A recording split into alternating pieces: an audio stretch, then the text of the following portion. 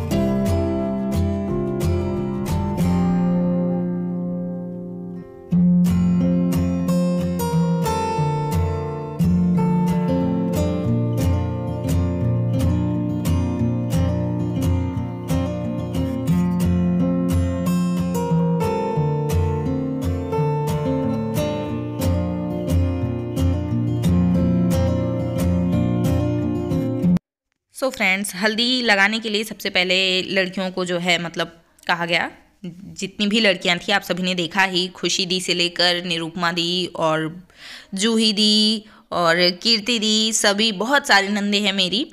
प्रियादीप दी के अलावा भी आप सभी अभी तक यही जानते होंगे। इनफैक्ट मैंने अपने वीडियो में काफ़ी बार सिर्फ़ दी का ही नाम लिया है, बाकी और किसी का नहीं। तो आप सभी क्या करूँ यार? आप सभी क्वेश्चन ही वही पूछते हो। प्रिया दी आप ऐसा क्यों हैं? प्रिया दी आपके साथ वैसा क्यों हैं? आप प्रिया दी की क्या है, क्या? तो मुझे उन्हीं के बारे में रिप्लाई करने को मिलता है। आप सभी मतलब अदर में, या तो आप खुशी दी के बारे में एक बार पूछे थे तो खुशी दी का मैंने आप सभी को बताया था। तो ऐसा नहीं है। इन दोनों के अलावा भी मेरी बहुत सारी नंदे हैं तो अभी जो है भाभी का नंबर आ गया है। और ये मेरी जेठानी है, और हाँ मुझे किसी ने कमेंट किया था कि आप जो है वो आपकी देवरान जेठानी और जेठ जी नहीं लगते हैं, आप दोनों ही उनसे बड़े लगते हैं। तो जी हाँ ऐसा मतलब शरीर के वेट से शायद लग रहा होगा बिकॉज़ भाभी बहुत ही ज़्यादा पतली हैं, बहुत ज़्यादा पतली हैं। पता नहीं क्यों? इन्होंने डॉक्टर को दिखाया भी बट अब क्या है आगे, इतना तो मुझे नहीं पता है बट इनका वेट बहुत ही कम है। घर की बाकी लेडीज़ में सबसे ज़्यादा पतली हैं ये। और मैं देवरानी ही हूँ, ऐसा नहीं है, मैं जेठानी हूँ। और जिनको हल्दी लग रही है ना, ये मेरे हस्बैंड से बहुत ज़्यादा बड़े नहीं हैं, सिर्फ़ मंथली एक दो मंथली मुझे इतना तो पता नहीं, बस इतना ही बड़े हैं। बाकी सेम क्लास है मेरे हस्बैंड का भी, इनका भी सेम क्लास और मतलब सेम स्टडी भी स्टडी भी दोनों ने एक जैसी ही की हुई है स्टार्टिंग से। और एक साथ ही की हुई है, पहले ये भी इलाहाबाद से ही कर रहे थे और मतलब जेठ जी भी और ये साथ में इलाहाबाद से ही कर रहे थे। आप सभी ने अगर दी के पुराने व्लॉग देखे होंगे, पुराने, काफ़ी पुराने व्लॉग जब मुझे लगता है वो स्टार्ट कर रही थी, तब शायद आपको देखने को मिला होगा कि वो अलाहाबाद जाती थी तो वहाँ पर ये दोनों साथ में ही पढ़ते थे ये हाँ अलाहाबाद में। तो ये रहे आप सभी के कमेंट का रिप्लाई भी कर दिया इसी में। और ये है मेरी सबसे छोटी वाली चाची, ममता चाची। और मम्मी को तो आप सभी ने देखा ही तो ऐसे ही करके बाकी भी लेडीज़ का नंबर आ जाएगा। और मैं हल्दी नहीं लगा सकती हूँ तो इसलिए मैं नहीं हूँ। बार बार घूंघट पीछे से खोल दिया जा रहा है। मेरे साथ भी यही करते हैं ये लोग। तो जो मुँह ढक के रखता है, उसका घूंघट पीछे से ऐसे खींचने, खींचना शुरू कर देते हैं। तो मैं नहीं हूँ। आप सभी पूछो, उसके पहले ही मैं रिप्लाई दे दे रही हूँ, क्योंकि ये जेठ हैं तो मैं हल्दी नहीं लगा सकती तो मैं इस वीडियो में, इस वीडियो में भी नहीं हूँ।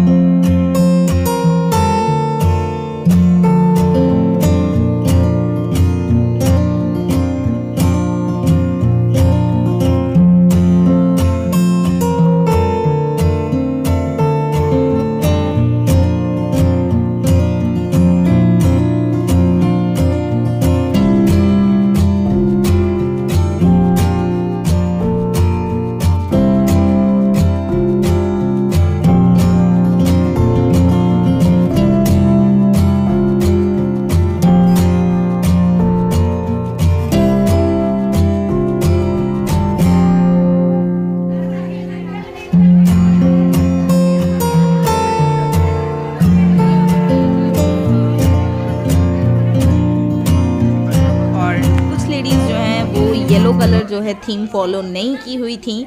मंजू बुआ तो मतलब ऑलरेडी आप देखोगे ना तो सुबह से उन्होंने यही साड़ी पहनी उनको पता था कि आज हल्दी होने वाला है तो मैं आज यही साड़ी पहन के रखने वाली हूँ। तो बुआ तो काफ़ी स्मार्ट निकली बट सीमा बुआ ने ग्रीन वाली साड़ी पहन के रखी थी। और देखिए ये चाची हैं या फिर मैं इतना वीडियो में क्लियर नहीं कर पा रही हूँ बट इन्होंने भी काफ़ी लोगों ने मुझे लगता है इवन मेरी चाची भी जो है ना उन्होंने भी जो है येलो कलर फॉलो नहीं किया। यानी कि थीम को फॉलो नहीं किया येलो नहीं पहना उन्होंने। और कलरफुल में कुछ लोग आ गए और कुछ लोग जो झट से रेडी हो सकते थे। क्या है ना कि ठंड में यार कपड़ा बदलने में बहुत ज़्यादा मतलब कपड़े चेंज करने में ना नानी माँ याद आ जाती है। मुझे अगर एक बार शरीर पे कपड़ा पहनो और वो कपड़ा गर्म हो जाए तो फिर मुझे चेंज करने में जितनी गुस्सा लगती है ना यार मैं क्या बताऊँ आप सभी को? तो अच्छा ऐसा किसके किसके साथ होता है? मतलब कौन कौन ऐसा सोचता है एक बार कपड़े पहन लिए तो फिर चेंज करने में ठंड में नानी माँ याद आती है उसकी। बताना ज़रूर कमेंट बॉक्स में आप सभी। और हाँ कमेंट बॉक्स में आप सभी कमेंट क्यों नहीं कर रहे हो यार? आप लोग भर दो ना मेरा comment box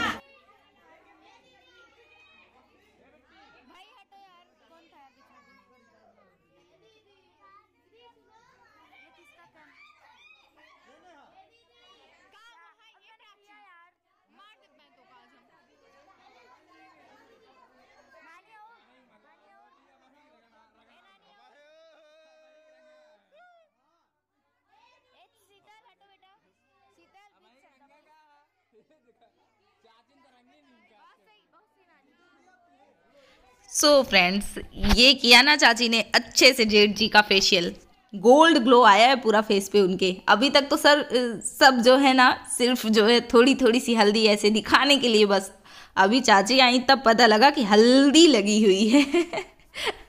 अब कल सुबह तक तो अच्छा निखार आएगा जेठ जी के ऊपर.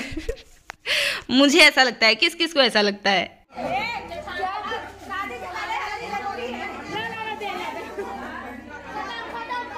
फ्रेंड्स लेडीज़ और गर्ल्स का नंबर ख़त्म होने के बाद जो है जेंट्स का नंबर आ गया है।